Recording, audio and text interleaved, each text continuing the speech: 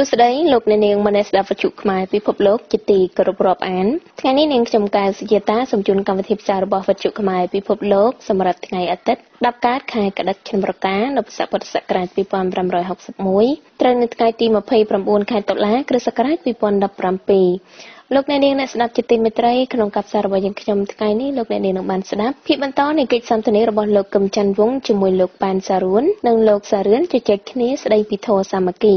តាមដោយនីតិសិភៅអង្គើឈ្លានពីរបស់ជួនមកលើកម្ពុជារៀបរៀងដោយលោកសោមសេកូម៉ែអានជូនស្ដាប់ដោយលោកសានសវិតតមកមេនីតិតន្ត្រីរៀបរៀងដោយអ្នកស្រីសង្កិតចាពីប្រទេសបារាំងរួចហើយបញ្ចប់កម្មវិធីផ្សាយថ្ងៃនេះដោយនីតិពីនេះពីនោះរៀបរៀងដោយលោកសានសវិតចាហើយជាបឋមនេះសូមអញ្ជើញលោកអ្នកនាងស្ដាប់ភាពបន្តនៃកិច្ចពិភាក្សារបស់លោកកឹមច័ន្ទវង្សអគ្គលេខាធិការនៃអង្គការសម្ព័ន្ធដើម្បីកិច្ចព្រមព្រៀងសន្តិភាពទីក្រុងប៉ារីស ជាមួយលោកប៉ែនសារួននិងលោកសារឿនស្ដីពីទស្សនៈនៃធម៌សាមគ្គី ចាសសូមអញ្ជើញស្ដាប់ដូចតទៅ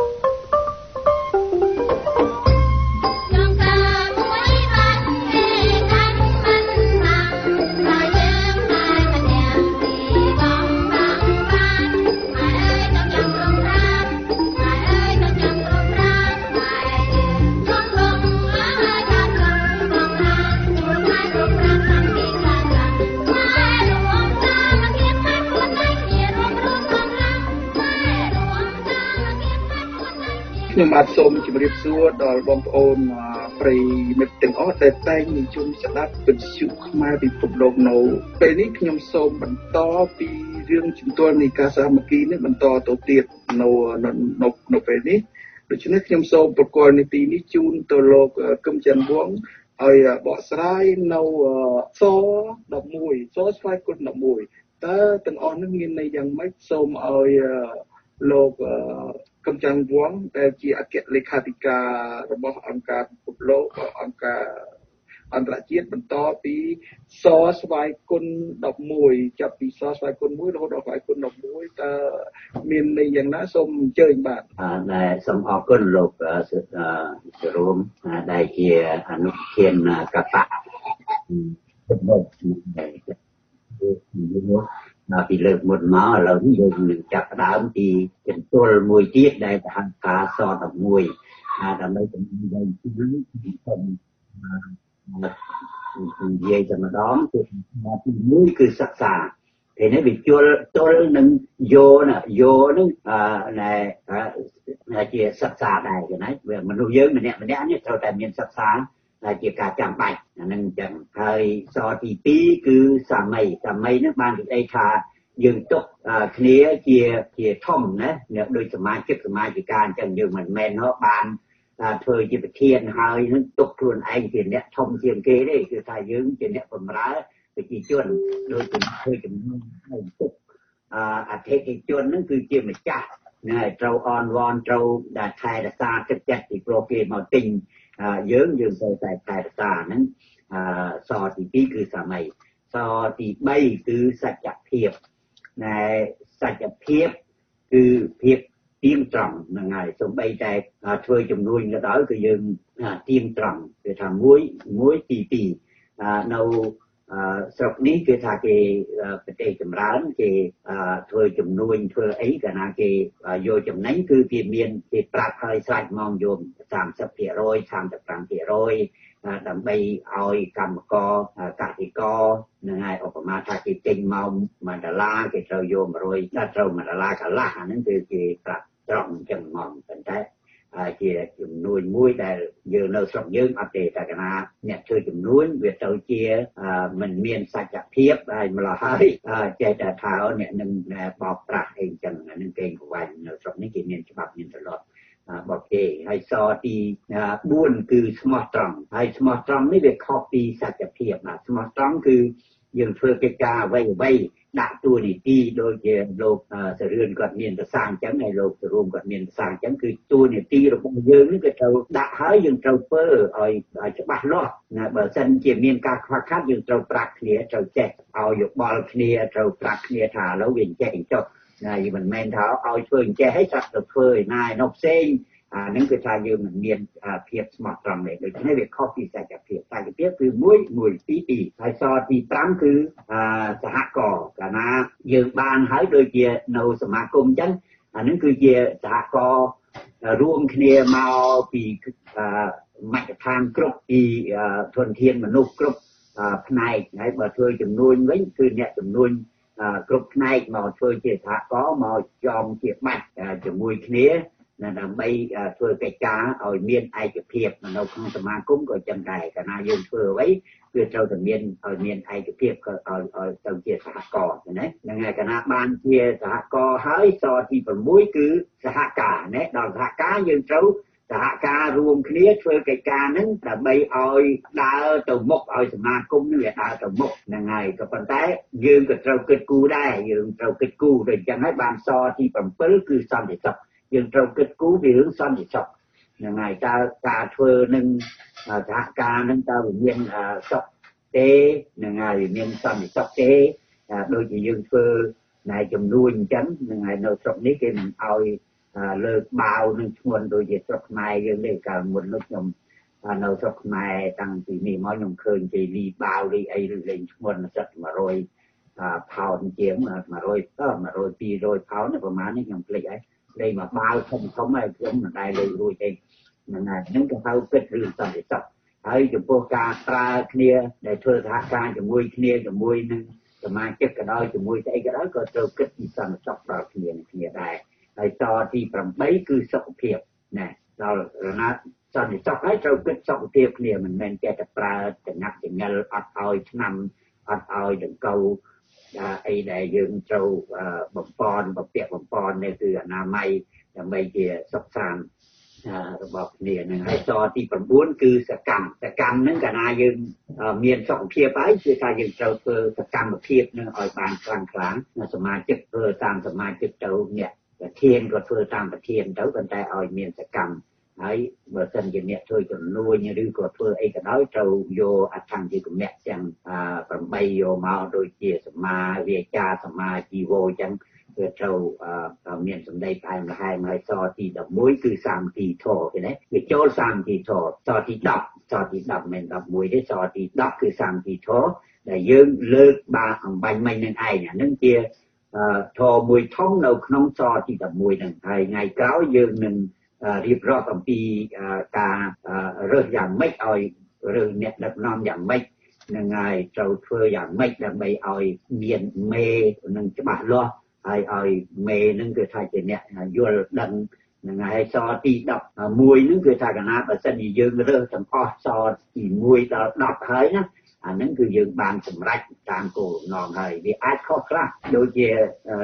តួទីទី3អញ្ចឹងដោយតួទី3គឺឧបសគ្គណាដែលទំនាស់ហ្នឹងគឺវាត្រូវតែទំនាស់ហើយកិច្ចការអីក៏ដោយក៏វាត្រូវតែទាស់វាត្រូវតែខុសប៉ុន្តែកាលណាបើខុសហើយយើងត្រូវកែវាយើងត្រូវសម្រួលវាឡើងណាដើម្បីធ្វើឲ្យកិច្ចការហ្នឹងបន្តទៅទៀតនេះហើយជាសទី11ដែលជាកន្ទួលរបស់កម្មទីហើយថ្ងៃក្រោយយើងនឹងលើកអំពី សាមគ្គីទី1ត្រូវធ្វើយ៉ាងម៉េចដែលដែលជាទ្រឹស្ដីកណ្ដាលរបស់ព្រះសម្មាសម្ពុទ្ធដូច្នេះសូមលោកវ៉ាសរឿនដែលមានបំណងចង់ធំថយឬក៏លើកឧទាហរណ៍ណាមួយដើម្បីឲ្យបងប្អូនយើងបានស្ដាប់ព្រោះពេលវេលាយើងមានកំណត់ហើយយើងត្រូវតែឲ្យបានស្រូបដល់យឺនតែបាទសូមអញ្ជើញបាទបាទ សូមជម្រាបសួរលោកចាំវងលោកសរួមហើយសូមបាទជម្រាបសួរអរគុណបាទសូមជម្រាបសួរបងប្អូនជនជាតិខ្មែរក្នុងក្រៅប្រទេសដែលតែងតែចូលចិត្តស្ដាប់នៅវិទ្យុខ្មែរពិភពលោកថ្ងៃនេះក៏ខ្ញុំមានឱកាសបានចូលរួម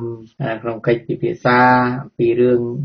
វែងញែកអំពីអត្តន័យដែលថាសាមគ្គីបាទដូច្នេះហើយក៏ សាមគ្គីបើយើងប្រែឲ្យវាច្បាស់លាស់ទៅបានថាសេចក្តីព្រមព្រៀងបាទសេចក្តីព្រមព្រៀងគ្នាដំណើរស្រស់ស្រួលគ្នា សាមគ្គីជាគុណសម្បត្តិដ៏សំខាន់មួយរបស់ពួកសត្វលោកបានន័យថាសត្វលោកនោះគឺសត្វលោកទាំងអស់គ្នានឹងរួមទាំងយើងដែរជាមនុស្សនោះក៏ចូលក្នុងសត្វលោកនឹងដែរថាសាមគ្គីធម៌ធម៌ដែលព្រមព្រៀងសេចក្តីព្រមព្រៀងដែលទុកជាធម៌ ត្រឡប់ចុះត្រឡប់ឡើងទៅបានន័យថាវានៅតែសាមគ្គីធម៌វិធីឬប្រៀបបែបបត់ដែលបង្កើនឲ្យមានការសាមគ្គីបាទនិងការទុកចិត្តស្រុះស្រួលគ្នានឹងហើយអញ្ចឹងហើយបានថាថ្មីថ្មីហ្នឹងលោកច័ន្ទមុនគាត់លើកឡើងដែរថារឿងការអនុវត្តកិច្ចការណាក៏ដោយដែលយើងធ្វើការជាមួយគ្នាបើតែតែមានខុសណាមានខ្វះខាតអាត្រង់នោះហើយដែលថាបើសិនជាយើងយល់អំពីការសាមគ្គីហ្នឹងក៏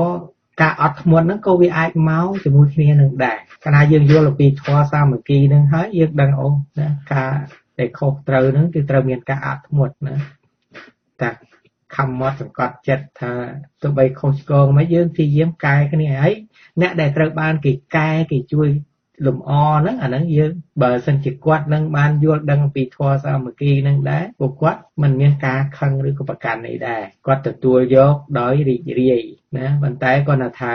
ការយល់ដឹងខ្លះជួនកាលអ្នកខ្លះគាត់មានកម្រិតតិចពេកគាត់អត់បានយល់ពីរឿងធម៌សាមគ្គីហ្នឹងដល់បែកបាក់សាមគ្គីហ្នឹងអាហ្នឹងមកពីអីការបែកបាក់សាមគ្គីមកពីមិនយល់មិនតែកាលណាមិនយល់អត់មានការអធិស្ឋានទេដូច្នេះហើយរឿងការសាមគ្គីនិងការអធិស្ឋានគ្នាទៅវិញទៅមកហ្នឹងអាហ្នឹងវាពាក់ព័ន្ធជាមួយគ្នាហើយកាលណាតែកាលណាវាពាក់ព័ន្ធជាមួយគ្នាហើយវាអត់មានអាចខ្វះអ្នកណាមួយបានទេគឺថាត្រូវតែត្រូវតែមានទាំងពីរហ្នឹងហើយបានជាមានធម៌សាមគ្គីនឹងទៅកើតកាលណាយើង មោហោតោសោហើយធ្វើការជាមួយគ្នាអត់ចេះស្ដាប់គ្នាអត់ចេះរែងយល់ចិត្តគ្នាចេះជួយគ្នាអ្នកខ្លះគេមានចិត្តចង់ជួយហើយយើងខឹងគេយើងប្រកាន់គេអាហ្នឹងក៏សាមគ្គីគ្នាជាមួយគ្នាអត់កើតដែរធ្វើការជាមួយគ្នាអត់កើតដែរដូច្នេះហើយត្រង់ហ្នឹងហើយដែលខ្មែរយើងជួបប្រទះកន្លងមកហ្នឹងហើយយើងទទួលផលពិបាកដល់សប្តាហ៍ថ្ងៃហ្នឹងខ្ញុំ នៅតែនៅតែព្រួយបារម្ភថាខ្លាចបន្តទៅកូនចៅយើងចំនួនក្រោយទៀតផងក៏មិនដឹងទេបើសិនជាខ្មែរយើងមិនព្រមសិក្សារៀនសូត្រអំពីកំហុសដែលយើងបានបានទទួលកន្លងមកបានធ្វើកន្លងមកនឹងទេណាហើយមិនព្រមស្វែងយល់នៅនៅនៅការដែលដែលផលវិបាកដែលបានដែលយើងបានឆ្លងកាត់មកហ្នឹងហើយយើងមិនព្រមកែប្រែអ្នកខ្លះទៅរហូតដល់ខ្លាចពេកទៅរួញដូចដឹកដឺអញ្ចឹងអត់មានហ៊ាននិយាយឬក៏ស្វែងយល់អីទេឃើញថា មិនមិនទៅអ្នកណាស្ដាប់មិនមិនមិនទៅណាអានេះវាមិនបញ្ហាទេជាសិទ្ធណាជាសិទ្ធរបស់អ្នកទាំងអស់គ្នាអ្នកខ្លះដែលគាត់ជ្រើសរើសទៅផ្លូវហ្នឹងជារឿងរបស់គាត់ក៏ប៉ុន្តែកើតមកជាមនុស្សត្រូវមានប្រយោជន៍ដល់មនុស្សណាពាក្យថាមានប្រយោជន៍ដល់មនុស្សហ្នឹងគឺយើងត្រូវស្វែងយល់ថាតើយើងធ្វើអីឲ្យវាសមជាមនុស្សដែលកើតមកក្នុងសង្គមមនុស្សតើយើងនៅនៅដេកចាំព្រេងវាសនាដែលយើងមិនធ្វើអីសោះហ្នឹងដោយសពថ្ងៃហ្នឹង យើងយើងយើងយើងកាំងណាដល់ថ្ងៃហ្នឹងយើងកាំងយើងកាំងថាយើងធ្វើអីមិនកើតទេរដ្ឋាភិបាលដល់ថ្ងៃហ្នឹងគេគៀបសង្កត់គ្រប់បែបគ្រប់យ៉ាងទាំងអស់យើងបោះឆ្នោតមិនគុំឈ្នះគេស្អីស្អីនៅលើគេទាំងអស់ណាយើងកាំងក៏ប៉ុន្តែដល់ដល់យើងនិយាយបបួលគ្នាថាឥឡូវយើងមានផ្លូវដោះស្រាយគឺកិច្ចអានេះខ្ញុំឧទាហរណ៍ណាឧទាហរណ៍ណាឧទាហរណ៍ជាក់ស្ដែង ឲ្យបងប្អូនយើងយល់ណាយើងមានយើងមានផ្លូវដោះស្រាយដូចជាកិច្ចប្រឹងប្រែង23ដុល្លារក្រៅពីនេះយើងអត់មានអីទៀតទេកំភ្លើងក៏មានស្អីព្រៃក៏អស់ចំពោះនេះណាហើយយើងយើងមានយើងមានកញ្ចប់ដែលត្រូវដោះស្រាយនឹងអញ្ចឹងហើយបានបានអង្គការសហជីវជាតិប្រទេសមហាអំណាចទាំង5ហើយនៅប្រទេសដែលម្ចាស់ហត្ថលេខាហ្នឹងគេធ្វើទុកឲ្យយើងកិច្ចប្រឹងប្រែងហ្នឹងដូចជាក្តាស់កុងត្រាមួយគេច្បាប់កុងត្រាមួយសម្រាប់ឲ្យឲ្យយើងទុកជាជាជាបន្លាស្រះ ណាជាខឿនជាឬកែវសម្រាប់ការពារកុំឲ្យមានបញ្ហាកើតឡើងនៅក្នុងកិច្ចព្រមព្រៀង23ដុល្លារហ្នឹងយើងបានដឹងហើយបើសិនជាយើងចូលទៅរៀបចូលទៅអាននឹងយើងបានយល់គ្រប់គ្នាប៉ុន្តែយើងអត់បានគិតអាហ្នឹងយើងយើងជឿទៅតាមពាក្យដែលគេបំផ្លើសថាកុំទៅធ្វើអាហ្នឹងវាស្លាប់អស់ហើយឥឡូវយើងយើងឃើញជាក់ស្ដែងថ្មីថ្មីនេះណាសម្បីតែជួនជាតិគេដតីដែលគេមិនមែនជាខ្មែរផងដែលគេមានឋានានុក្រមពងពោះ ក្នុងដូចជាអង្គការសហជីវជាតិអីក៏គេនិយាយណា human right អីក៏គេនិយាយដែរមន្ត្រីធំធំហ្នឹងពួកចំវែងហ្នឹងណាយើងនិយាយស្រួលស្ដាប់គេថាមានតែកិច្ចព្រមព្រៀង23ដុល្លារហ្នឹងទេដែលអាចជួយបានប៉ុន្តែយើងអត់ធ្វើណាដូចជាឧទាហរណ៍ដូចជាការរួបរวมគ្នាសាមគ្គីគ្នាហ្នឹងក៏វានៅខ្វះចន្លោះដូចជាមេដឹកនាំអតីតមេដឹកនាំសង្គ្រោះជាតិពីមុនហ្នឹងលោកប្រធានសំរងស៊ីហ្នឹងឃើញគាត់ ចេញមកហ្នឹងគាត់បង្កើតជាគណៈបកជាអីជាក្រុមសហសមាគមអីផ្សេងមួយទៀតអញ្ចឹងទៅតែប៉ុន្តែយើងបើតាមតែយើងពិនិត្យមើលទៅគាត់ទេដែលគាត់មានឆែនមានឱកាសជាងយើងពីព្រោះថាប្រជាពលរដ្ឋខ្មែរក៏ស្គាល់អ្នកណាមិនថាមិនស្គាល់លោកសំរងស៊ីហើយអ្នក នៅក្រៅប្រទេសហ្នឹងក៏អ្នកណាដែលថាគេមិនស្គាល់នៅនៅលើលោកហ្នឹងគាត់ទេដែលមានឱកាសហ្នឹងប៉ុន្តែគាត់ហេតុអីក៏គាត់មិនព្រមរួបរวมណែក្បួនខ្មែរហ្នឹងរួបរวมអង្គុយធ្វើការជាមួយគ្នាវាអាហ្នឹងបើធ្វើអញ្ចឹងទៅអាហ្នឹងការតការយល់ដឹងរបស់ខ្ញុំទេតែបើអស់លោកទាំងពីរគិតថាវាខុសយ៉ាងម៉េចឬក៏បងប្អូនអ្នកស្ដាប់គិតថាខុសយ៉ាងម៉េចអាហ្នឹងក៏ជួយឲ្យជាយោបល់ផងខ្ញុំគិតថាកាលណាយើងធ្វើអញ្ចឹងបបែកជាក្រុមជាអីច្រើនពេកអញ្ចឹងទៅអាហ្នឹងវា វាទៅជាលក្ខណៈបំបែកសម្លេងទៅវិញទេបាទអញ្ចឹងហើយបានថាគាត់ទេដែលមានឱកាសច្រើនជាងគេណាជាបុគ្គលមួយដែលដែលគេស្គាល់ដែលដែលងាយក្នុងការប្រមូលដែលសរសៃឈាមខ្មែរហ្នឹងឲ្យវារត់រកគ្នាហ្នឹងគុំឆ្អឹងគុំឆ្អែងជាមួយគ្នាហ្នឹងគឺគាត់ទេដែលងាយបំផុតណាហើយយើងនេះយើងគាត់តែចាំថាដើរតាមក្រោយប៉ុន្តែផ្ទុយទៅវិញវាវាបែរទៅជាគាត់ធ្វើអញ្ចឹងអាហ្នឹងខ្ញុំវាមិនដឹងដែរណាសូមឲ្យបងប្អូនពិចារណាមើលហើយ កុំចេះបងប្អូនខ្លះខ្ញុំដឹងបើកាលខ្ញុំនិយាយអញ្ចឹងខ្ញុំកាលអ្នកខ្លះនិយាយហ្នឹងបើប្រកែអញ្ចឹងមិនឃើញធ្វើអីបានខ្លះអាហ្នឹងម្ដងទៀតខ្ញុំសូមបញ្ជាក់ខ្ញុំបាននិយាយលើកមុនខ្លះហើយថាមិនមែនកិច្ចការខ្លះមិនមែនចេះតែដើរអួតអាងប្រាប់ថាខ្ញុំបានធ្វើនេះធ្វើនោះអញ្ចឹងទេប៉ុន្តែនិយាយឲ្យចំទៅក្នុងនាមថាខ្មែរដែលជាម្ចាស់ខ្មែរដែរនោះដែលគេមានសិទ្ធិដែរនោះគឺយើងមិនអាច និយាយទៅប្រើភាសាហ្នឹងទៅឲ្យអ្នកដែលដែលគេរិះគន់នឹងបានទេពីព្រោះយើងជាតំណាងឲ្យខ្មែរ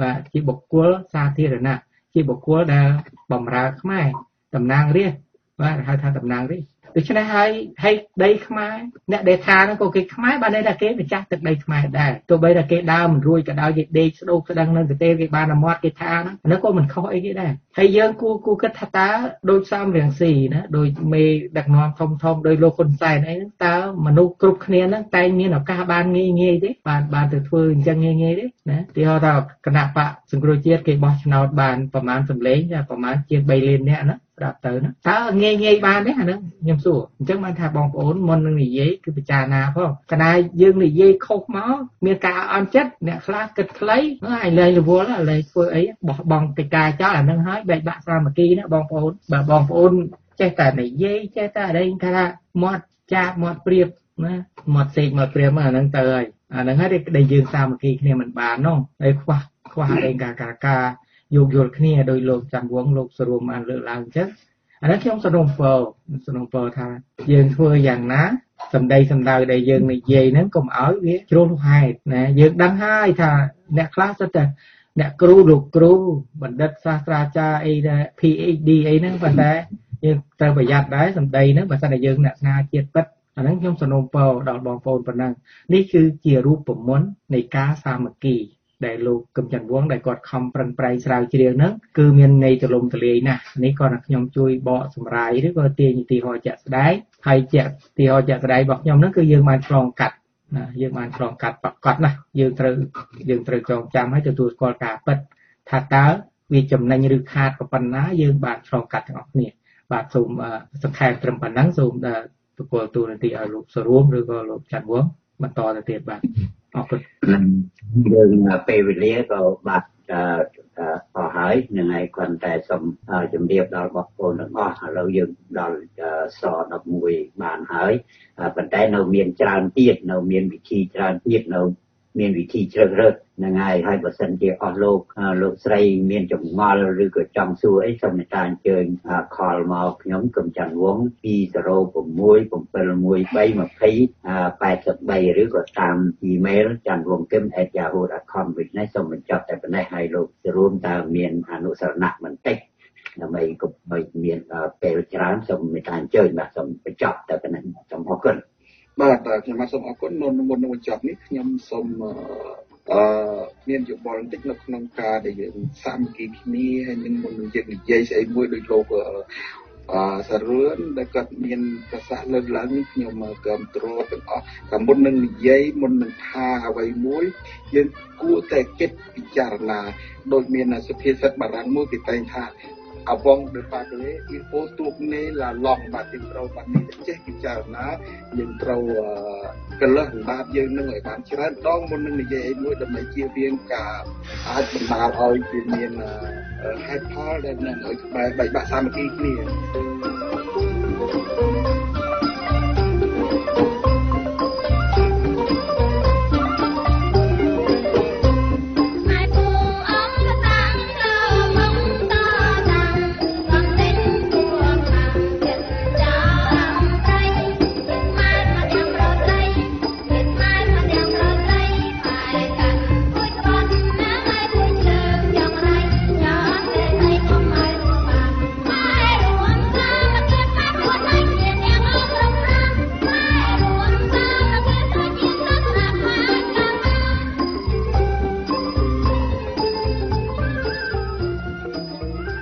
ម្មវិធីនេះសូមអញ្ជើញលោក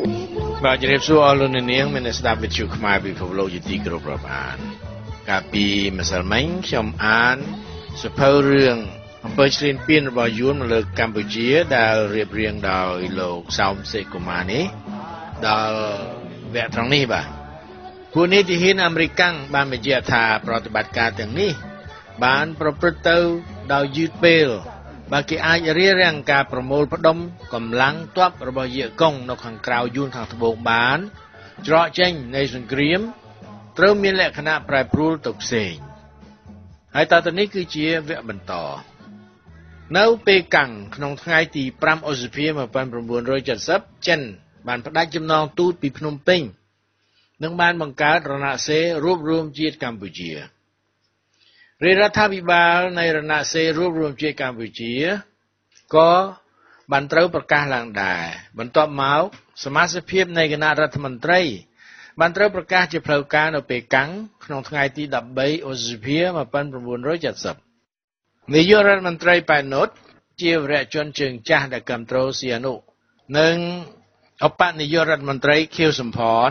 ជាសមាជិករបស់បកកុម្មុយនីសកម្ពុជានិងជាអតីតតំណាងរាស្ត្រក្នុងរាជរដ្ឋាភិបាលគណៈរដ្ឋមន្ត្រីខ្មែរនៅពេលកាំងបានត្រូវផ្សំឡើងពីសមាជិកទៀតជាពួកសៀហនុនិយមប៉ុន្តែដល់ខែវិច្ឆិកា1973គ្រប់ក្រសួងរដ្ឋក្នុងរដ្ឋាភិបាលនៃរណសេរីរួបរวมជាតិកម្ពុជា បានត្រូវផ្ទេរមកនៅក្រោមការកាន់កាប់របស់មេដឹកនាំអត់ទៀមនៅកម្ពុជាវិញ។ ចំណែកខាងភ្នំពេញការប្រជុំមុខផ្នែកនយោបាយដើម្បីទប់ទល់អំពើឈ្លានពានរបស់យួនកុម្មុយនីសបានត្រូវឲ្យមានសន្និសិទមួយស្ដីពីបញ្ហាខ្មែរនៅយ៉ាកាតា ក្នុងថ្ងៃទី16 17ឧសភា1970សេចក្តីថ្លែងការណ៍រួមនៃប្រទេសទាំង12បានតម្រូវឲ្យពលទាហានបរទេសទាំងអស់ដកថយពីកម្ពុជាប៉ុន្តែឥតអំពើសោះ នៅខែវិច្ឆិកា1970បន្ទាប់ពីកិច្ចចរចារវាងតំណាងយួនខាងជើងនិងតំណាងនៃបកកុម្មុយនីសកម្ពុជាក្រុមទាំង10នៃកម្មាភិបាលរបស់បកប្រជាជនបដិវត្តកម្ពុជា គឺខ្មែរយេមិញប្រមាណ1000នាក់ដែលបានស្នាក់នៅហាណូយតាំងពីឆ្នាំ1954-55បានចាប់ផ្ដើមត្រឡប់មកកម្ពុជាវិញនៅកម្ពុជាយេកុងនិងយួនខាងជើង កាន់តែមានអានុភាពខ្លាំងឡើង។ ដោយការគ្រប់គ្រងពីពេកាំងហើយជាពិសេសពីរាជរដ្ឋាភិបាលនៃរណសេរីរួបរวมជាតិកម្ពុជា ដែលមានសៀនុជាមគ្គុទេស ដ៏ឆ្នើមអំណះតទៅសៀនុបានបោះបង់ទ្រឹស្ដីមួយដែលថាក្រមបពន្ធរបស់គាត់ឬរាជខ្មែរទាំងមូលតស៊ូតែឯងឯងប្រឆាំងចក្រពត្តិនិយមអាមេរិកនិងពួកបរិវារនៅថ្ងៃទី25មិថុនា1971សៀនុបានសារភាពនៅចំពោះមុខ អ្នកតំណាងរបស់ទូរទស្សន៍កាណាដាអំពីវត្តមាននៅកម្ពុជានៃគ្រូបង្ហាត់យួនខាងជើង ប្រមាណ2000នាក់ដែលជួយជ្រោមជ្រែងដល់ក្រុមបពន្ធរបស់គាត់ចំនួនពិតនៃកងទ័ពកុម្មុយនីសនៅកម្ពុជាក្នុងឆ្នាំ1971បានត្រូវផ្សំឡើងដោយពលទាហានយេកុងនិងយួនខាងជើងចំនួន90%ចំនួន10%សេសសល់ជាខ្មែរក្រហមដែលស្ថិតនៅក្រោមការគ្រប់គ្រងរបស់ពួកខ្មែរកុម្មុយនីសសាឡុតស ចំណែកឯអតីតខ្មែរយេមិញប្រមាណ1000នាក់ដែលចេញដំណើរពីហាណូយតាមផ្លូវលំហូជីមិញបានមកដល់ជាលើកទី1ក្នុងខេត្តក្រចេះនៅខែកុម្ភៈ1971ក្រុមនេះបានត្រូវចាត់តាំងតាមមុខនេតិតូចតាចដែលគ្មានភាពជាក់លាក់នៅពាសពេញកម្ពុជាដោយក្រុមរបស់សាឡុតស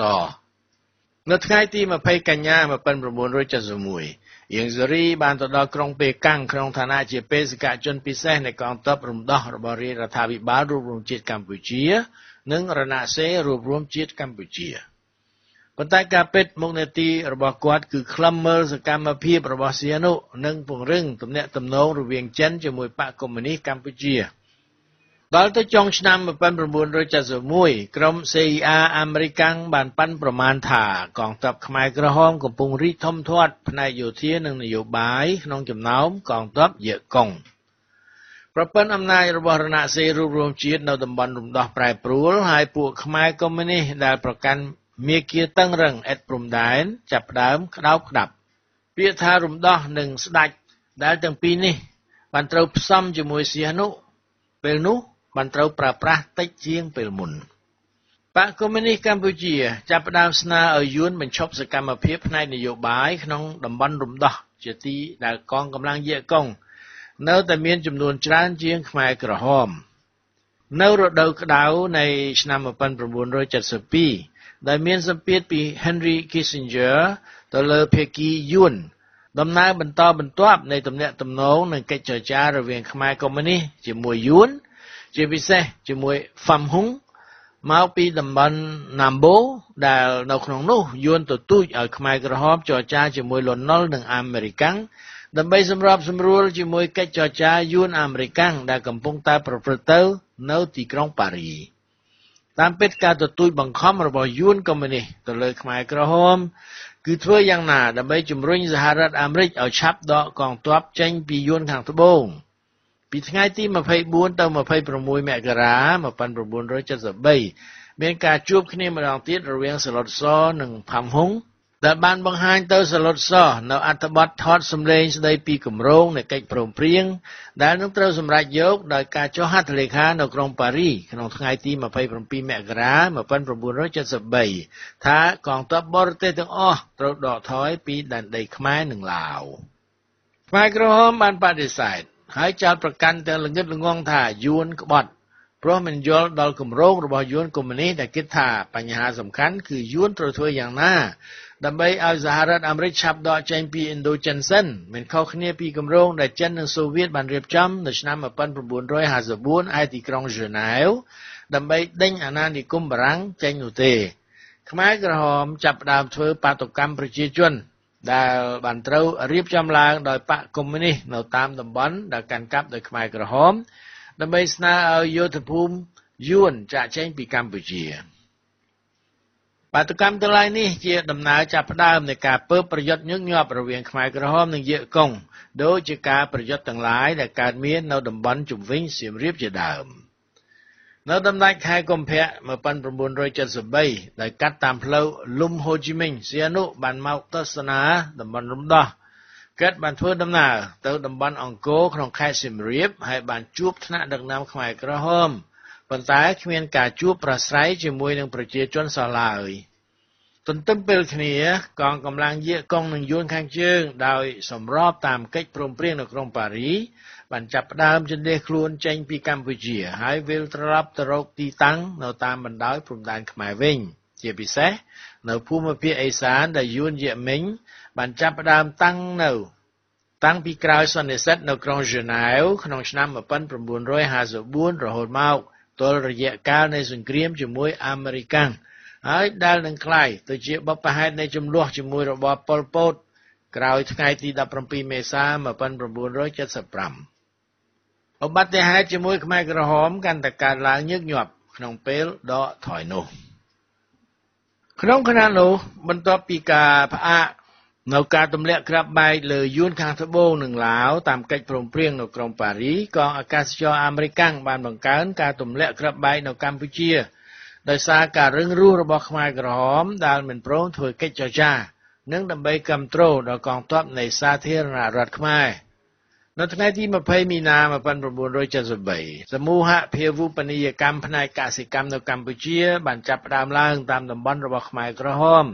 កំណែទម្រង់ខាងវិស័យកសិកម្មបានជំរុញរាជខ្មែរ30000នាក់ឲ្យរត់ទៅជ្រកនៅយួនខាងត្បូងហើយ20000នាក់ទៀតមករស់នៅក្រោមការគ្រប់គ្រងនៃរបបសាធារណរដ្ឋ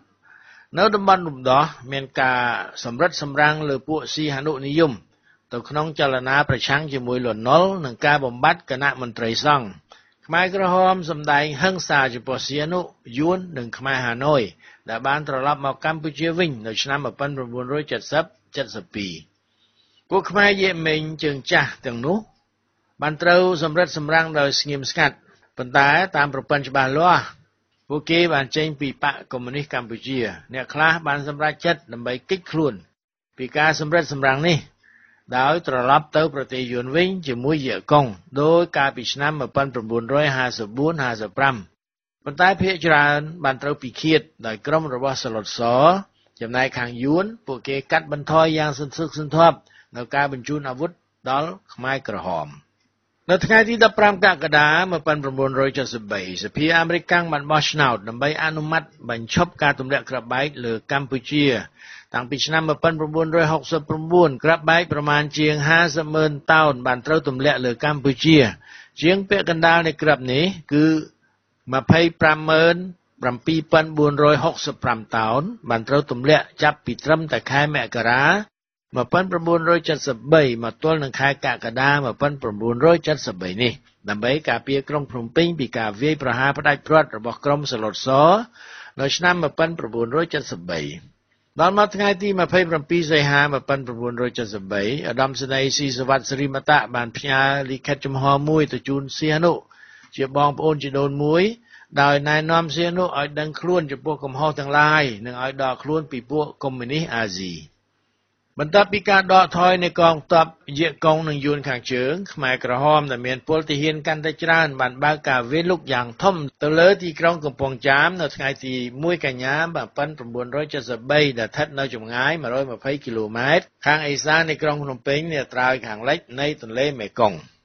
ប៉ុន្តែពួកនេះបានត្រូវវាយរុញច្រានថយក្រោយវិញដោយទទួលការខូចខាតជាទម្ងន់បន្ទាប់ពីការប្រយុទ្ធយ៉ាងសាហាវអស់រយៈពេល2សប្តាហ៍ដែលនៅឱកាសនោះកងនាវាចរខ្មែរបានបំពេញមុខនាទីយ៉ាងសំខាន់ពីការប្រយុទ្ធនេះខ្មែរក្រហមចង់បង្ហាញជំហរឯករាជ្យម្ចាស់ការរបស់ខ្លួនប៉ុន្តែតាមពិតដូចជានៅថ្ងៃទី4មីនា1974 លេដឹកថបានទទួលលិខិតមួយពីសឡុតសដែលនៅក្នុងនោះសឡុតសបានអះអាងអំពីភក្តីភាពនៃបកកុម្មុយនីសកម្ពុជា ចំពោះមិត្តភាពភេរៈភាពនិងសាមគ្គីភាពរវាងប្រជាជនទាំងពីរយ៉ាងណាក៏ដោយការព្រួយបារម្ភរបស់សឡុតសចំពោះឧបសគ្គទៅអនាគតនិងចំពោះយួនដែលតាំងខ្លួនជានិច្ចជាអ្នកត្រួតត្រាឬជាអ្នកបណ្ដោះបណ្ដាល បានជំរុញសាឡុតសឲ្យព្យាយាមកម្ចាត់ពួកកម្មាភិបាលខ្មែរដែលត្រឡប់មកពីហាណូយដោយបានសម្លាប់អ្នកទាំងនេះចោលស្ទើរតែទាំងអស់ប៉ុន្តែចំពោះមុខយួនសាឡុតសបន្តសម្ដែងមិត្តភាពដូចជាតាមលិខិតដែលគណៈកម្មាធិការមជ្ឈិមនៃបកពលករយួនបានទទួលពីសាឡុតសនៅថ្ងៃទី3ដុល្លារ1974ថាបករបស់យើងដើរតាមមេគានយោបាយត្រឹមត្រូវប៉ុន្តែជ័យជំនះរបស់យើងមិនអាច ត្រូវបំបែកចេញពីការឧបត្ថម្ភរបស់បកពលករវៀតណាម និងប្រជាជនវៀតណាមបានឡើយហើយបន្ទាប់ពីការចាប់ផ្ដើមនៃការវាយសម្រុកផ្ដាច់ព្រាត់លើក្រុងភ្នំពេញនៅថ្ងៃទី1មករា1975លេដឹកថូបានទទួលលិខិតមួយច្បាប់ទៀតពីសឡុតសដែលមានន័យថាជំនួយវៀតណាមបានរួមចំណែកយ៉ាងធំធេងក្នុងជ័យជំនះរបស់បកកុម្មុយនីសកម្ពុជា។ ការវាយសម្រុកនេះមានអមបន្តដោយការសម្លាប់រង្គាលទៅលើរាជសាមញ្ញតាមតំបន់ដែលស្ថិតនៅត្រើយខាងកើតនៃទន្លេមេគង្គក៏ដូចជានៅភាគខាងជើង និងភាគខាងត្បូងនៃរដ្ឋធានីដែរចាប់ពីថ្ងៃទី16កុម្ភៈ1975អាមេរិកបានចាប់ផ្ដើមធ្វើស្ពានអាកាសដែលសម្ដៅផ្ដល់ស្បៀងទៅក្រុងភ្នំពេញនិងកងកម្លាំងប្រយុទ្ធបន្ទាប់ពីផ្លូវគមនាគមន៍ជើងទឹកនិងជើងគោកបានត្រូវកាត់ផ្ដាច់អស់ លោកនាងមានស្ដាប់ជាទីគោរពរាប់អានខ្ញុំសូមស្លេះអំណានសិភៅរឿងអំពើឆ្លៀនពៀនរបស់យួនមកលើកម្ពុជារបស់លោកសោមសេកុមារតែប៉ុណ្ណេះសិនបាទចាំថ្ងៃស្អែកនឹងបន្តទៀតសម្រាប់ថ្ងៃនេះសូមអរគុណនិងជម្រាបលាលើនេះទៅទៀតព័ត៌មានដែលខ្ញុំដឹងគឺព្រះអង្គបានឡាយប្រហោះលេខាមែនកាលពីថ្ងៃពុទ្ធទី25ដុល្លារតែត្រង់ឡាយលើច្បាប់បោះឆ្នោតដែលសភា ចៅ500របស់អាខ្វាង បានបោះឆ្នោតគ្រប់គ្រងវិសោធនកម្ម4ចំណុចអនុញ្ញាតឲ្យយកអាសនៈសភារបស់គណៈបកសង្គ្រោះជាតិទៅចែកឲ្យគណៈបកកំពេចកំពុកពួកប្រែតបេសាចអត់ឃ្លាន ដែលមិនបានទទួលទាស់មួយកៅអីនៅក្នុងការបោះឆ្នោតនោះ បាទរឿងទាំងអស់នេះគ្មានអ្វី ឲ្យយើងគួរយកចិត្តទុកដាក់តើតើសោះព្រោះវាជាអំពើ របស់វងចៅដែលបំពេញលើច្បាប់ ជាពិសេសលើរដ្ឋធម្មនុញ្ញយ៉ាងអិតអៀនខ្មាស់ពួកអាអ្នកនយោបាយកញ្ចេះយួនទាំងអស់នោះវាធ្វើរឹកហាក់ដូចជាគោរពច្បាប់ខ្លាំងណាស់តែអ្វីដែលពួកវាចង់ធ្វើវាក៏នឹងធ្វើមិនថារំលោភច្បាប់ ឬក៏មិនរំលោភនោះឡើយ បើរំលោភវាក៏ចេះតែរោគលេសរាក់រាក់យកមកបិទបាំងភាពខុសច្បាប់ភាពបំពានច្បាប់របស់ពួកវាតែប៉ុណ្ណឹងបើសិនជាខ្ញុំលើកយកឧទាហរណ៍តែមួយមកជម្រាបលោកអ្នកនាងក៏ច្បាស់ជានឹងយល់ស្របថាក្រុមតំណាងរាស្ត្រគណៈបក CPP ជាពិសេសគឺអាគេកាប់ខ្វាងនឹងតែម្ដងវាបានបំពេញរដ្ឋធម្មនុញ្ញបាទគឺ បញ្ហាចាប់លោកកឹមសុខាដាក់គុកគឺពួកវាតាំងខ្លួនជាចៅក្រមជាប៉ូលីសជាមេធាវីស្រេចបាច់ទាំងអស់រដ្ឋធម្មនុញ្ញចែងថាតំណាងរាស្ត្ររូបណាក៏ដោយមានអាចត្រូវចោទប្រកាន់ចាប់ខ្លួនកាត់ខ្លួនឬឃុំខ្លួន ដោយហេតុពីបានសម្ដែងយោបល់ឬបញ្ចេញមតិក្នុងការបំពេញមុខងាររបស់ខ្លួនសោះឡើយតែនេះវាឲ្យទីហ៊ានវាទៅចាប់កឹ មសុខាទាំងអត់មានដីកាដីកុយអីពីតុលាការចាប់គេទាំងយប់អាត្រៀតដូចជាចូលទៅប្លន់ស្រស់ស្រស់វាអះអាងថាចាប់បានព្រោះនេះជាករណីបាត់ល្មើសព្រហ្មទណ្ឌជាក់ស្ដែងវាទៅយកសម្លេងថតកាលពីចុងឆ្នាំ2013នោះមកធ្វើជាភ័ស្តុតាងនៃបទអក្រិតដែលវាថាជាក់ស្ដែង ដោយក្នុងខ្សែអនុមលោកកឹមសុខាបានអធិប្បាយថាលោកបានទទួលការបង្វឹកបង្ហាត់គឺបានរៀនពីការតស៊ូបែបអហិង្សាដើម្បីឲ្យបានមកនៅការផ្លាស់ប្ដូរតាមរយៈលទ្ធិប្រជាធិបតេយ្យនៅកម្ពុជាតែប៉ុណ្ណឹងវាចោទថានេះគឺជាបំណងផ្ដួលរំលំរដ្ឋាភិបាលដោយមានសហរដ្ឋអាមេរិកជាអ្នកជួយផ្ចង់ផ្ដើម គឺខុបខិតជាមួយគ្នា ដល់គេតវ៉ាថារឿងវាកើតមកជិត4ឆ្នាំទៅហើយវាក៏អះអាងថាសម្លេងថតនៅមានលើបណ្ដាញអ៊ីនធឺណិតរហូតដល់សប្តាហ៍ថ្ងៃនេះដូច្នេះនេះចាត់ទុកថាជាបទល្មើសព្រហ្មទណ្ឌជាក់ស្ដែងបានស្រេចទៅនឹងវាថាបើយើងទៀមទាពីអភ័យឯកសិទ្ធិសភារបស់លោកកឹមសុខាពួកវាក៏នឹងថារដ្ឋសភាឬគណៈកម្មាធិការអចិន្ត្រៃយ៍រដ្ឋសភាបានយល់ព្រមឲ្យចាប់ខ្លួនហើយ ទាំងដែលរដ្ឋធម្មនុញ្ញមានចែងថាសេចក្តីសម្រេចរបស់គណៈកម្មាធិការអចិន្ត្រៃយ៍របស់រដ្ឋសភាត្រូវដាក់ជូនសម័យប្រជុំរដ្ឋសភាដើម្បីអនុម័តតាមមតិភាគច្រើន2ភាគ3នៃសមាជិករដ្ឋសភាទាំងមូលតែពួកអាខ្វាងពួកអាចង្រៃនឹងវាមិនដែលប្រជុំសភាស្វែងរកមតិភាគច្រើន2ភាគ3នោះឡើយ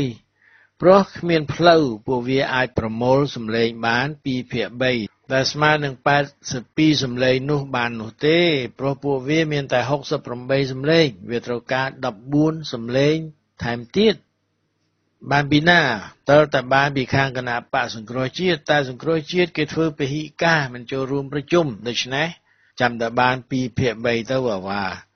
ប្រកបណាស់ច្បាប់នៅលើកណ្ដាប់ដៃពួកវាអំណាចនៅលើ ចុងកំភ្លើងរបស់ពួកវា វាចង់បដូរចង់កែប្រែយ៉ាងណាក៏បានធ្វើបរដ្ឋធម្មនុញ្ញបានចែងថាការកែប្រែបន្ថែមបន្ថយឬធ្វើវិសោធនកម្មរដ្ឋធម្មនុញ្ញតើតែមានសម្លេងភាគច្រើន2ភាគ3មិនមែន absolute majority ឬ50%បូក1នោះទេ អរលោកអ្នកនាងមានស្ដាប់ជាទីគោរពរាប់អាន បញ្ហារបស់ខ្មែរយើង ដែលចេះតែកើតមានអេតឈប់ឈររហូតដល់សប្តាហ៍ថ្ងៃនេះគឺកើតមកពីការជ្រៀតជ្រែករបស់បរទេសនេះបើនិយាយបែបមិនចង់ទម្លាក់កំហុសមកលើខ្លួនឯងយើងមានខ្លួនប្រាណមានចិត្តគំនិត តែតាមដែលសង្កេតមើលយើងហាក់ដូចជាគ្មានលទ្ធភាពការពារខ្លួនរបស់យើងទើបតែសោះប្រកបណាស់ទាំងអស់នេះមកពី ខ្មែរខ្លួនឯងគម្រក់ផងមកពីជាកម្មវេនរបស់យើងផងក៏មិនដឹង បានជាជួបនឹងបញ្ហាបែបនេះម្ដងហើយម្ដងទៀតដែលជាការបើកឱកាសឲ្យពួកបរទេសវាអាចជ្រៀតជ្រែកចូលមកបាន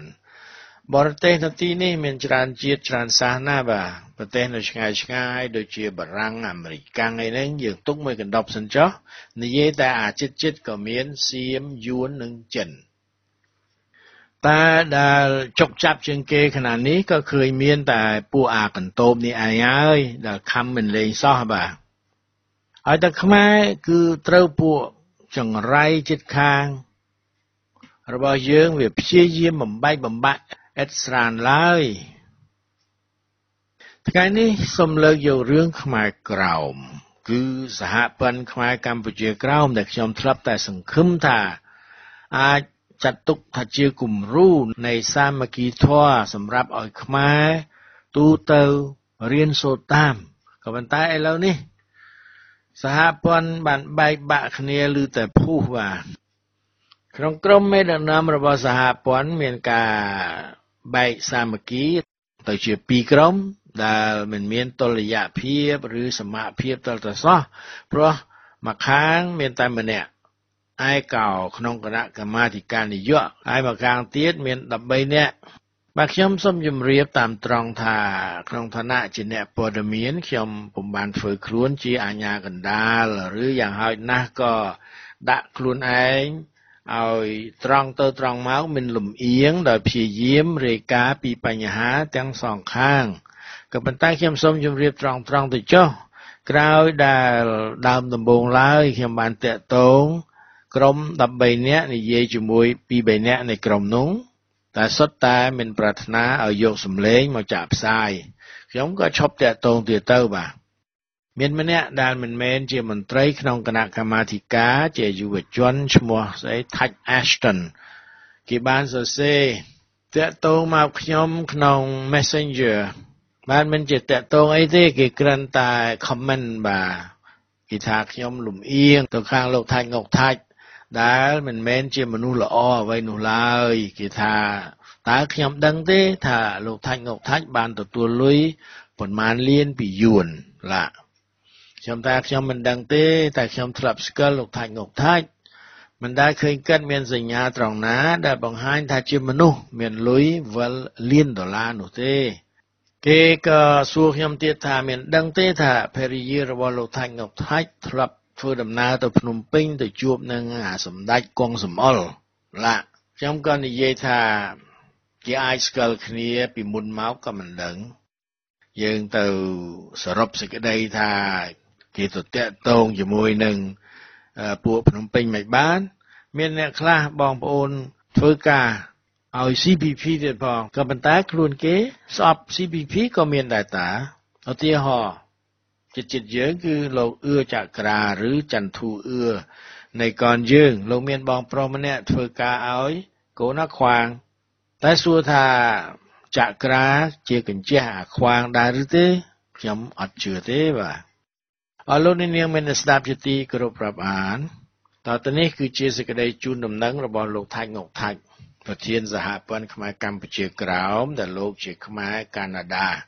ខ្ញុំគិតថាលោកជាមនុស្សល្អទោះជាលោកមិនស្ដាប់យោបល់របស់ខ្ញុំដែលខ្ញុំធ្លាប់ស្នើបាទថាលោកគួរតែដកឃ្លាមួយរយៈសិនដើម្បីកុំឲ្យសហព័ន្ធបែកជាពីរគឺបើសិនជាពួក13នាក់អស់នឹងវាក្បត់ជាតិវាអាក្រក់មែនមិនយូរមិនឆាប់បាទបងប្អូនខ្មែរក្រោម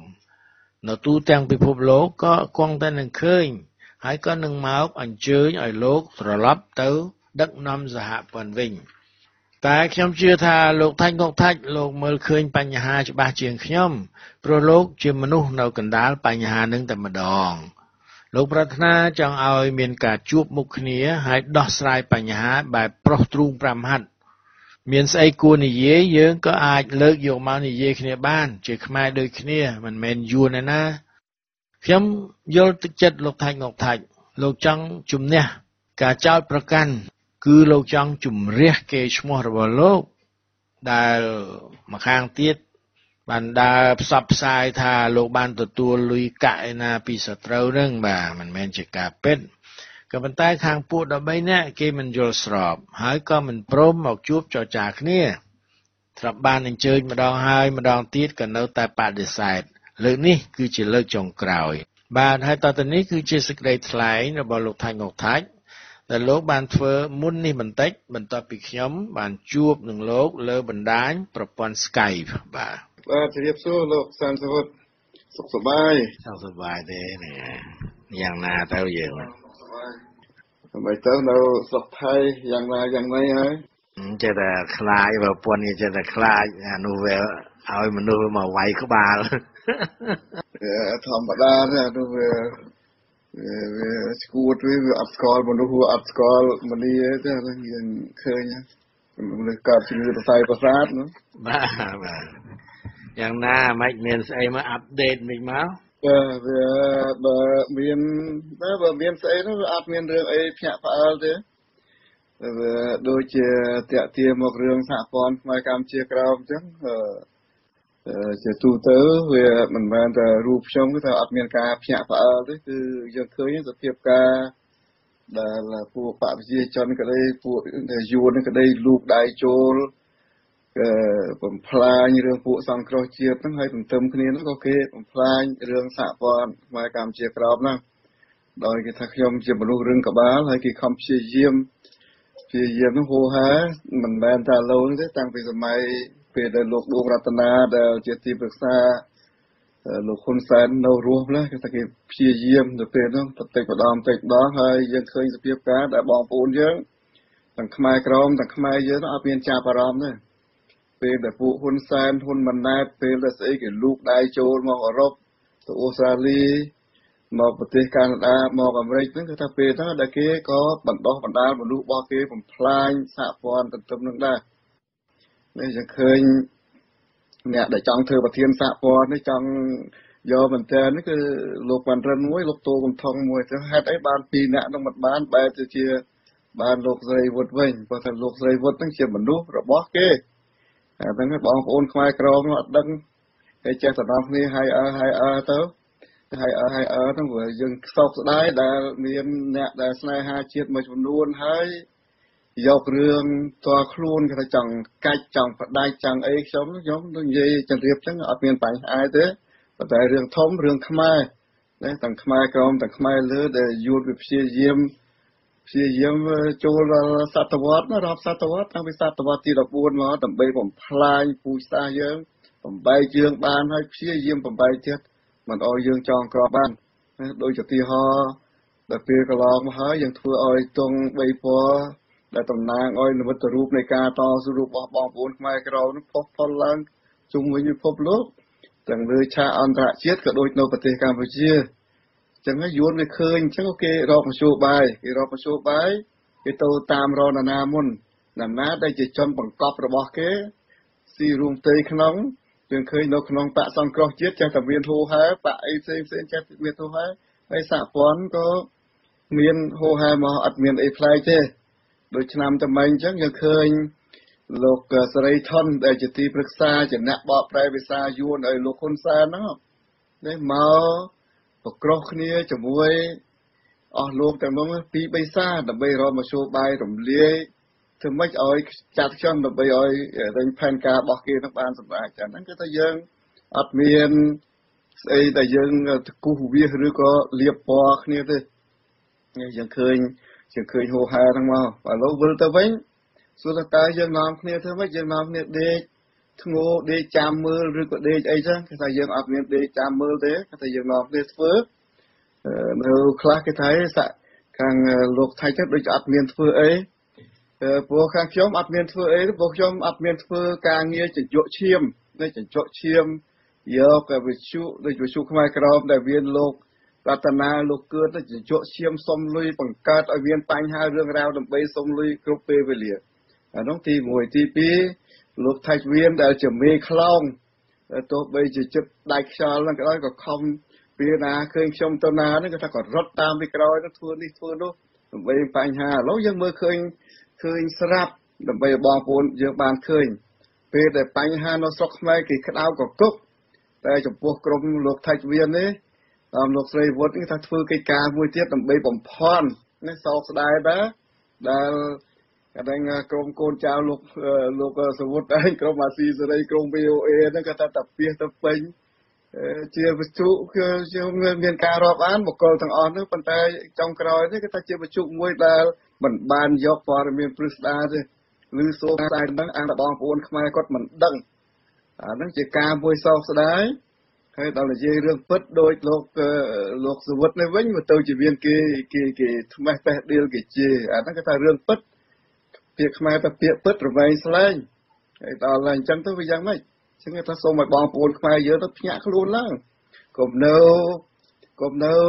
កុំនៅចេះតែហើយអើហើយអើហើយអើហ្នឹងហើយបានយើងរលាយអស់មនកហើយហ្នឹងយើងនៅហើយអើធ្វើមិនទៀតយើងវេទនាប្រហែលសតវត្សទៀតទសវត្សទៀតមិនយើងចាប់លោកចុងក្រោយនេះគេថាសូមឲ្យបងប្អូនខ្មែរនិងខ្មែរក្រមគេថាសូមមេត្តាអញ្ជើញទៅចូលរួម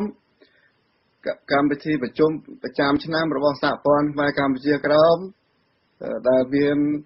ការរៀបចំឡើងធ្វើនៅវត្តសហបរិយខ្មែរកម្ពុជាក្រមទីក្រុង Long Beach ណាបងប្អូននៅទីក្រុង Long Beach គេដឹងហើយនៅវត្តនោះគេថាមករយៈកាលនេះគេថាបងប្អូនខាងសង្គ្រោះជាតិក្តីគណៈកម្មការអង្គការតស៊ូណាដែល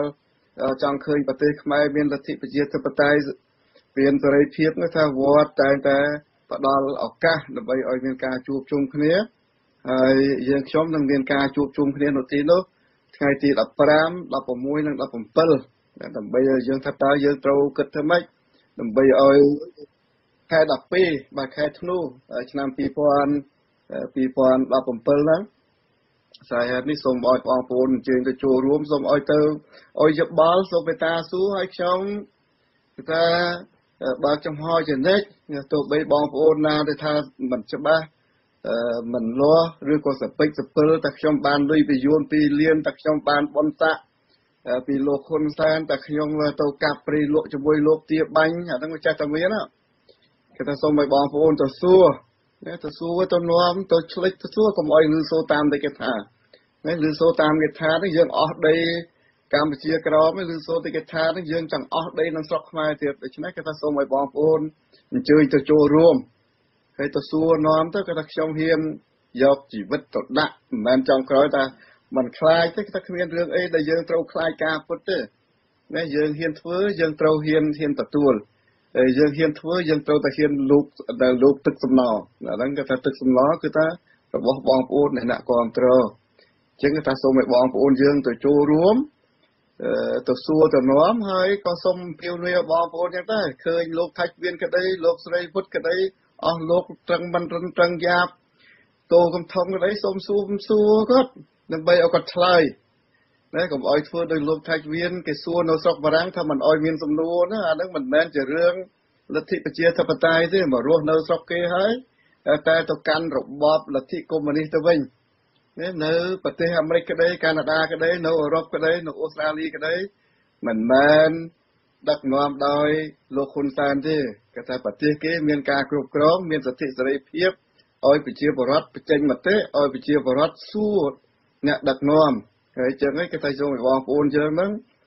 សូមមេត្តាឲ្យច្បាស់លាស់ឡើងបើយើងស្រឡាញ់ប្រជាធិបតេយ្យការបោះឆ្នោតជាធំ នេះយើងឃើញពួកអស់លោកហ្នឹងចាញ់ឆ្នោតយកហើយហ្នឹងសុំកលុំសុំកលុំហើយនាំគ្នាលើកអញ្ចឹងតែយើងខ្មាស់គេតែយើងខ្មាស់គេបើយើងធ្វើរបៀបអញ្ចឹងហើយសួរតែយើងសង្ឃឹមទៅម៉េចហើយយើងធ្វើហ្នឹងតែធ្វើឲ្យយួនមើលងាយនេះដោយពួកគាត់ហ្នឹងរត់តាមពួកអឺវៀនដិនខាងនៅ Washington DC នេះណាឃើញវៀនដិនខាងសុំឲ្យជួយសញ្ញេសូមលោកត្រឹងមិនរិនលោកត្រឹងយ៉ាបហ្នឹងឲ្យអស់លោកទៅជួយសញ្ញេគឺថាសញ្ញេព្រូភ្លាម តែលោកចោយ៉ាងអាយនៅប៉ារីឲ្យលោកថាច់វៀនសញ្ញេនេះគឺសញ្ញេព្រុសភ្លាមរឿងជាតិក៏ធ្វើដូចជារឿងដែងបាយលុកបាយឡលបែងក្មេងលេងហើយខ្ញុំខ្ញុំនៅតែអញ្ចឹងគាត់ថានៅតែតែចង់ឲ្យឃើញបងប្អូនយើងទៅចូលរួមហើយសួរនាំសួរនាំដើម្បីឲ្យដើម្បីផលប្រយោជន៍ជាតិចិត្តអស់ទឹកអស់ដីហើយហើយបើថាយើងនៅបរទេសនេះខ្លាចទៀតអាហ្នឹងយើងធ្វើអត់បានទេយើងធ្វើអត់បានទេបាទ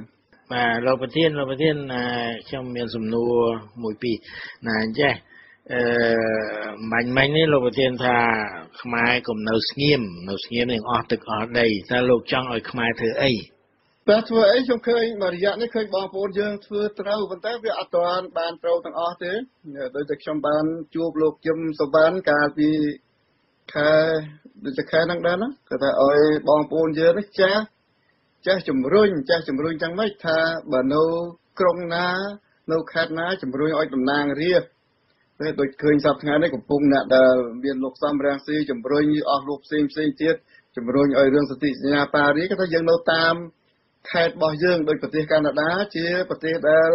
ចុះហត្ថលេខីហ្នឹងយើងជំរុញមិនត្រឹមតែធ្វើបាតកម្មទេតើយើងជំរុញជំរុញសភាអាមេរិកសភាកាណាដារដ្ឋាភិបាលកាណាដាដែលជារឿងមួយងារជាប្រទេស ចុះហត្ថលេខីសហរដ្ឋអាមេរិកក៏អញ្ចឹងហើយយើងឃើញសហរដ្ឋអាមេរិកហ្នឹងមានការចូលរួមយ៉ាងកក់ក្ដៅដែលធ្វើឲ្យបងប្អូនខ្មែរមិនត្រូវមិនត្រូវនៅស្ងៀមទេយើងមិនចាំបាច់ទៅទៅ Washington DC មិនចាំបាច់ទេតើទៅ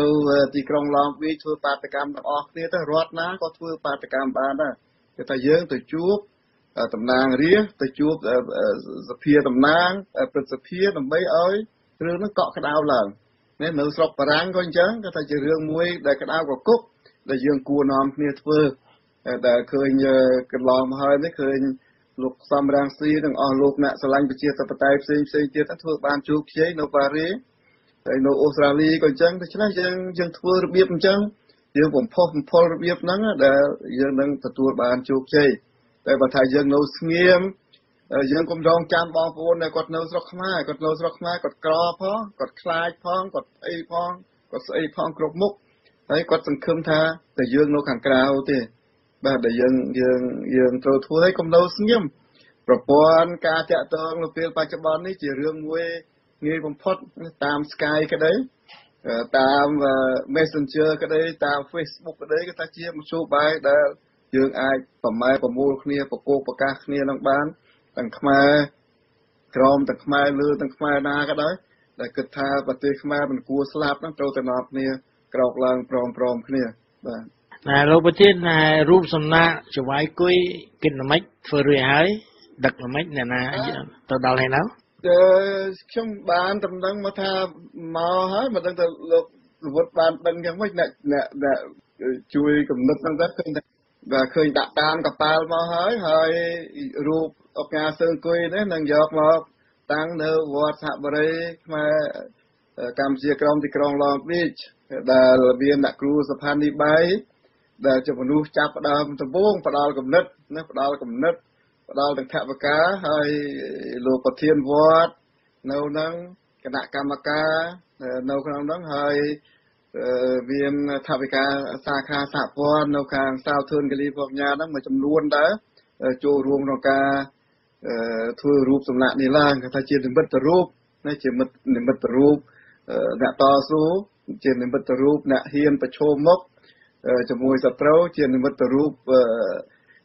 ពលឹងខ្មែរយើងទូទៅនឹងតែម្ដងដូច្នេះយើងឃើញថាសូមឲ្យបងប្អូនខ្មែរ បងប្អូនខ្មែរក្រមដែលនៅជុំវិញហ្នឹងពេលដែលរូបមកដល់គេថាតាក់ទងទៅលោកប្រធានវត្តគណៈកម្មការវត្តប្រសង់នៅទីនោះដើម្បីទៅមើលហើយពួកយើងខ្ញុំនេះក៏គិតថាបើបានរូបមួយហើយគាត់ថាយើងនឹងនាំគ្នាបង្កើតធ្វើម៉េចឲ្យមានគណៈកម្មការមួយទៀតឲ្យមានរូបចំណាក់នោះឲ្យបានច្រើននៅអាមេរិកខាងលិចនឹងមានហើយនៅខាងកើតនៅអូស្ត្រាលីនៅអឺរ៉ុបអីចឹងគាត់ថាជានិមិត្តរូប សេរីភាព ជានិមិត្តរូបនៃការតស៊ូជាជាដួងពលឹងខ្មែរយើងមកផងមិនថាតែខ្មែរក្រមមិនថាតែខ្មែរលើទេព្រោះលោកអញ្ញាសឿងគុយទៅជាជាមន្ត្រីដែលរដ្ឋាភិបាលខ្មែរចំនួននោះបញ្ជូនទៅដើម្បីដឹកនាំគ្រប់គ្រងនៅខេត្តព្រះត្រពាំងបាទអញ្ចឹងក៏អរគុណណាហើយក៏សង្ឃឹមថាខ្មែរនឹងទៅចូលរួមអង្គប្រជុំនៅខែធ្នូហ្នឹងច្រើនច្រើនអូខេណា បាទសូមសូមអរគុណហើយក៏សង្ឃឹមថាបងប្អូនកុំអោយស្ងាត់ណាកុំអោយចាំដល់ខែធ្នូបានងើបម្ដងទៀតពីនឹងទៅថាថ្ងៃណាក៏នាំគ្នាតាក់ទងគ្នាអញ្ចឹងទៅបាទសូមអរគុណនិងសូមអរគុណអរលោកនាងមានស្ដាប់ជាទីគោរពរាប់អានបាទម្សិលមិញនេះខ្ញុំបាទពុំបានធ្វើពីនេះពីនោះជូនលោកនាងស្ដាប់ឡើយព្រោះចាប់តាមដានរឿងរបស់លោកប្រធានាធិបតី Donald Trump របស់សហរដ្ឋអាមេរិកដែលខាងពួកសេរីនិយម គឺពួកឆ្វេងនិយមនៅអាមេរិកគេស្អប់ដូចលាមកអីចឹងបាទហើយថែមពួកកាសែតពួកបណ្ដាញព័ត៌មានធំធំនៅអាមេរិកស្ទើរទាំងអស់មិនចូលចិត្តដូចជា CNN ដូចជាស្អីអស់ហ្នឹងគេវាយប្រហារយ៉ាងឥតសំចៃពេលខ្លះក៏ធ្វើខ្លួនអាក្រក់មើល គឺរាយការណ៍តែរឿងដែលពួកនេះគិតថាមិនល្អសម្រាប់ Trump អារឿងល្អល្អឥតនិយាយដល់សោះហើយបើអញ្ចឹងវាទៅជា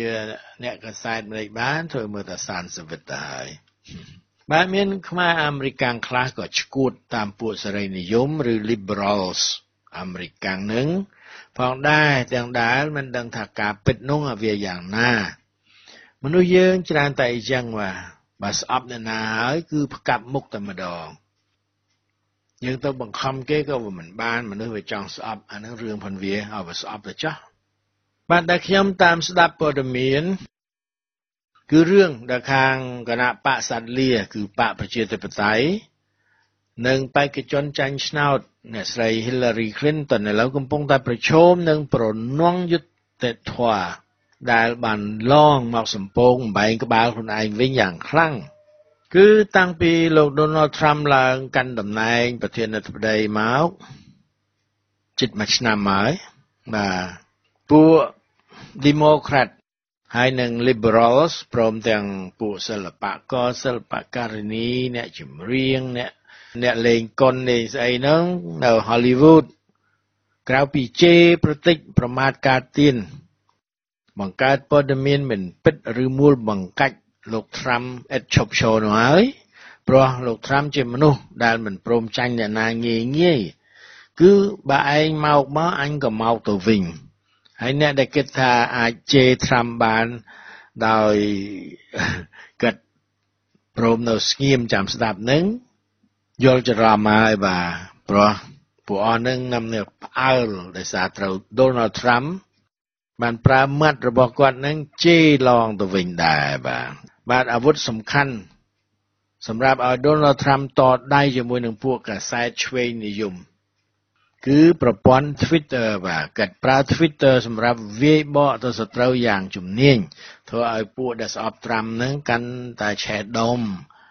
បាទពួក Democrat ហើយនិង Hillary Clinton ដែលចាញ់ឆ្នោត បានធ្វើការវាយប្រហារ Trump រឿងទំនាក់ទំនងសម្ងាត់ជាមួយនឹងរុស្ស៊ី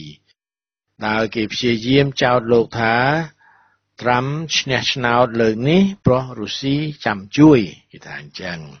ក៏ប៉ុន្តែទីបំផុតខាងត្រាំបានបោះអាក្រាតថា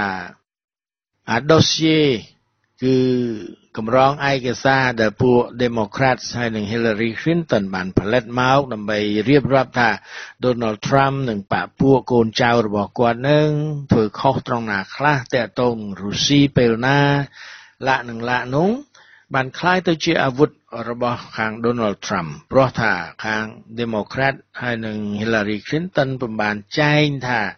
ខ្លួនចំណាយប្រាក់ដល់ទៅជិត10លានដុល្លារ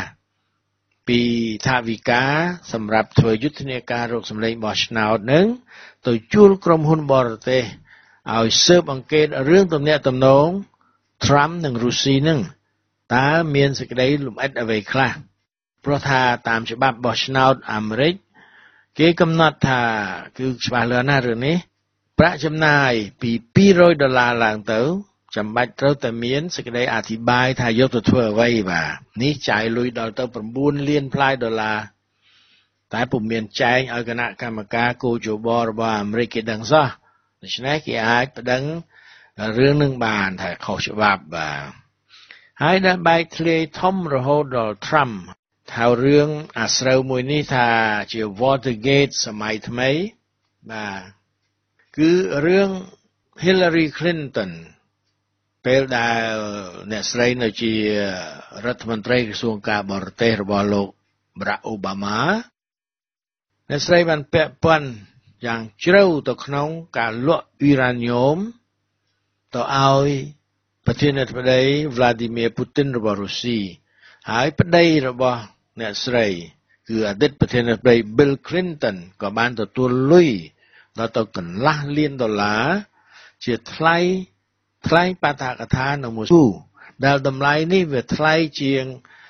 តម្លៃថ្លែងបតាកថាទូទៅរបស់គាត់នឹងដល់ទៅ3ដងឯណោះខាងអាមេរិកគេចាត់ទុកថានេះគឺជាសំណោកក្នុងការអន្តងចិត្តឲ្យភរិយាដែលជារដ្ឋមន្ត្រីក្រសួងការបរទេសខណៈនោះគឺនៅឆ្នាំ2009ហ្នឹងយល់ព្រម លក់សារធាតុដែលរុស្ស៊ីអាចយកទៅផលិតជាអាវុធនុយក្លេអ៊ែរបានដល់ទៅ20%នៃបរិមាណដែលសហរដ្ឋអាមេរិកមានបើខាងគណៈបកសាធារណរដ្ឋរបស់លោក Donald Trump កំពុងតែស៊ើបអង្កេតរឿងនេះព្រោះអាចនឹងជាករណីពុករលួយដ៏ធំធេងក្នុងប្រវត្តិរបស់ក្រុង Washington ដោយអាចចាត់ទុកថាជាអំពើក្បត់ជាតិបានទៀតផង បាទពួកគេខំវាយប្រហារ Donald Trump ថារុស្ស៊ីជួយឲ្យលោកឈ្នះឆ្នោត តែទីបំផុតคล้ายទៅជា Hillary Clinton ឯណោះទេ ដែលមានទំនាក់ទំនងជិតស្និទ្ធជាមួយនឹងសត្រូវរបស់អាមេរិកបាទគួរឲ្យកត់សម្គាល់ថាក្រុមបណ្ដាញព័ត៌មានធំធំដូចជា MSNBC ABC CBS អីអស់ហ្នឹងបានព្យាយាមបិទមាត់មិនលើកយកបញ្ហាចម្រូងចម្រាសអស់នេះ យកមករាយការណ៍ជូនសាធារណជនឡើយបាទខ្ញុំបានព្យាយាមប្រាប់មិត្តភ័ក្តិដែលគេស្អប់ត្រាំសូមឲ្យចាំមើលតទៅទៀតសិនទុកឱកាសឲ្យគ្នាបានធ្វើការសិនកុំតន់ឆាប់ធ្វើសេចក្តីសន្និដ្ឋានថាជាមនុស្សអាក្រក់ជួជាតិលឿនពេកបាទក៏ប៉ុន្តែពួកឆ្វេងនិយមគេអត់មានបានបាទខណៈដែលសេដ្ឋកិច្ច សហរដ្ឋអាមេរិកកំពុងតែចម្រើន ជាងមុន ផ្សារហ៊ុនឡើងក្រើតក្រើតដល់តែឥឡូវនេះដល់កម្រិត23000ផ្លាយចំណុចទៅហើយហើយចំនួនការងារ jobs ក៏កើនឡើងច្រើនជាងសម័យណានាក្នុង17ឆ្នាំកន្លងមកនេះក៏ប៉ុន្តែពួកដែលស្អប់ Trump ក៏ខ្វាក់មើលមិនឃើញរឿងទាំងអស់នេះទេ គេគិតតែពីវាយប្រហារបុគ្គល Trump ទៅវិញ គួរឲ្យស្ដាយបាទមានខ្លះហ្នឹងរហូតដល់ចោតប្រកាន់ថាតួលេខនៃការរីកចម្រើនរបស់អាមេរិកពេលនេះជាតួលេខคล้ายៗទៅទៀតបាទខ្ញុំមិនហ៊ានហាមលោកអ្នកនាងដែលមិនចូលចិត្តឬចង់ជេរត្រាំនោះនោះទេព្រោះអាមេរិកជាប្រទេសសេរីដូច្នេះសូមអញ្ជើញមកសេរីទៅចោះអស់លោកអ្នកនាងមានស្ដាប់ជាទីគោរពរាប់អានពីនេះពីនោះថ្ងៃនេះសូមអេវ៉ាំងតែប៉ុណ្ណេះសូម